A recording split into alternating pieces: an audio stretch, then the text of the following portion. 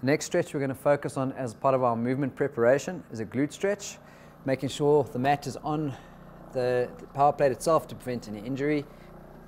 Leaning forward, leaning over the leg. The tension should be in the glute. Obviously, we do not want tension to shift to lower back or to the neck. Very slight movement of a pulse as opposed to bouncing. And once you've shifted that, stretch that glute. We'll change sides. Leaning forward again, making sure you feel the tension in the right space. Obviously, we are stretching the gluteal area, shouldn't feel discomfort on the inside along the groin. Just as a warning sign for you. From that position, stretch the hip flexors, knees placed on the pad, stepping forward and driving the hips just slowly forward to increase the tension across the left hip. Then for the right,